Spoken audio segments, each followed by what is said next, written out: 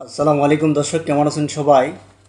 তো আজকে সংযুক্ত আরব আমিরাতের এবং বাংলাদেশের যে টাকার রেট হচ্ছে বত্রিশ টাকা চল্লিশ পয়সা।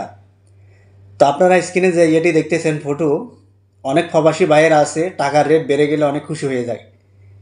তা আসলে টাকার রেট বেড়ে যাওয়ার পরে যে আপনারা খুশি হন, এটা হচ্ছে মানে ধ্বংসের একটি পথ, যেটা দেশের অর্থনৈতিক বলেন কিংবা দেশের যে ইনকাম সোর্সের ইয়ে বলেন, যখন সেটা দোষে যায় কিংবা ডাবিয়ে যায়, তখন অর্থনৈতিক ইয়াটা কমতে থাকে কিংবা এটা হচ্ছে ইন্টারন্যাশনাল মানি এক্সচেঞ্জ কিংবা দেশের যে যে কোনো দেশের মুদ্রা, উঠানামা করা কিংবা দেশের উন্নয়ন হওয়া কিংবা দেশের রিজার্ভের অর্থ ব্যয়বহুল বাড়া, তখন একটা দেশের ইয়া হয় কিংবা টাকার মানটা বাড়ে। টাকার মান কমে গেলে টাকার রেটটা বেড়ে যায়।